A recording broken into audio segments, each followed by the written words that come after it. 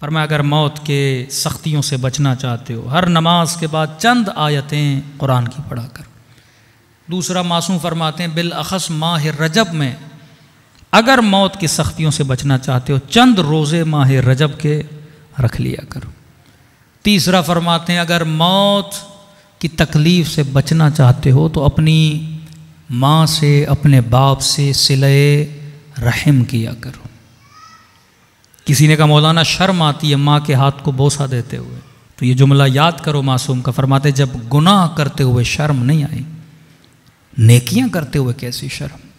मरने के बाद पछताओगे, इस माँ के जाने के बाद पछताओगे, इस बाप के जाने के बाद पछताओगे कि जब तक नेमतें थीं, तुमने उस नेमत से कोई फ़ायदा नहीं लिया।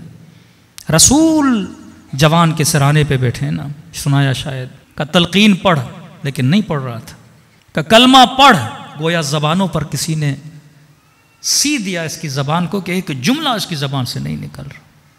नबी ने उस कमरे में निगाह डाली, खातून पे का आपका क्या रिश्ता इस जवान से?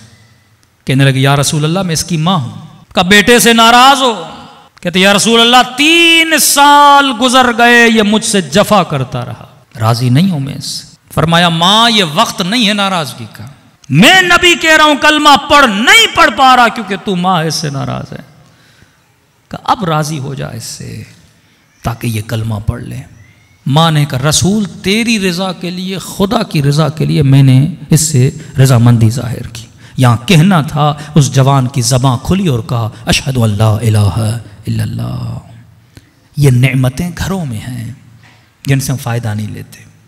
बंदा बहुत दूर की सोचता है, उम्र कर लूँ, इमाम हुसैन की ज्यारत कर लूँ। अरे ये ज्यारतें तेरे घर में हैं, ये नेमतें तेरे घर में हैं, क्यों फ़ायदा नहीं लेता, इतनी दूर का क्यों सोचता है? ये तोफीक हासिल करेगा तो बड़ी तोफीक मिलेगी।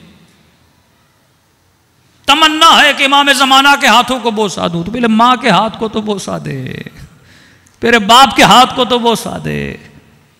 फिर उस शफीक बाप का हाथ तुझे नसीब होगा जिसकी तू तमन्ना कर रहा है। काबे को देखना इबादत, आलिम को देखना इबादत माँ बाप को देखना इबादत है। कितने लम्हे हमारी नस्लें ये इबादत हासिल करती हैं। कितने घंटे तू मोबाइल देखता है, टीवी देखता है। आधा घंटा माँ को देख ले, एक घंटा माँ बाप को देख ले। घर बंदा मस्जिद बना सकता है, इबादत बना सकता है, घर को ज्यारत गाह बना सकता है। ये सारी नेमतें हमारे इर्द गिर्द घूम रही हैं, लेकिन हम इन नेमतों से महरूम हैं। खुदा सखी भी है, खुदा करीम भी है। सखी मांगने पे देता है, करीम न मांगने पर भी अता करता है। क्या ये करम इलाही नहीं कि तुझे मजलिस हुसैन में बुलाया? दुनिया वालों की आँखें खुश्क हैं क्या ये करम खुदा नहीं कि उसने तुझे ज़िक्र हुसैन और मुसीबत हुसैन के आँसू अता किए हैं?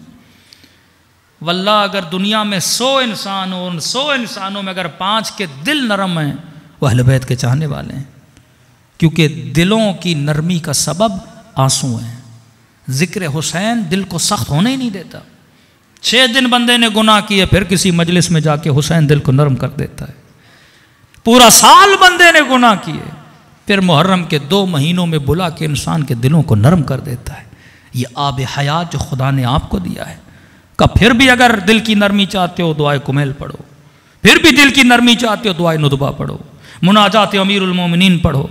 और ज़्यादा दिल को नरम करना चाहते हो, हर रात अंधेरों में उठ के नमाज़ शब पढ़ो। क्योंकि नरम दिलों में खुदा रहता है और इन्हीं दिलों पे मारिफत के चश्मे ज़ाहिर होते हैं। खुदा का शुक्र करें यह नमत खुदा ने अहल बैत के चाहने वालों को दी है। वदहकू कलीला, वबकू कसीरा। कम हंसा करो, ज़्यादा रोया करो। ज़्यादा हंसना कह कहे लगाना दिल की सख्ती का बायस। लेकिन गिरिया करना दिल की नरमी का बायस। है चेहरे पे तबस्सुम का होना भी इबादत है। चेहरों का मुरझाया हुआ होना भी बुरी बात है। मोमिन हशाश और बशाश होता है। लेकिन जब अल्लाह के इबादत पे आता है तो इसका दिल वजूद खुदा के इश्क की गर्मी में आकर ये पिघल जाता है, नर्म हो जाता है और वह ख़ुद कहता है अम युजीबुल मुजतर रज़ादा व यक्षफसु अय टूटे हुए दिलों की आवाज़ सुनने वाले अय फरियाद करने वालों की आवाज़ सुनने वाले, ये जुमले मासूमीन के हैं, वल्लाह इससे बड़ी नेमत नहीं हो सकती। हर बहाने से वो बुलाता है और हमारे दिलों को नरम करता है। और दिल की नर ही नरमी ही इस्तजाबत दुआ की निशानी है। अर्ज़ किया कि वो करीम है।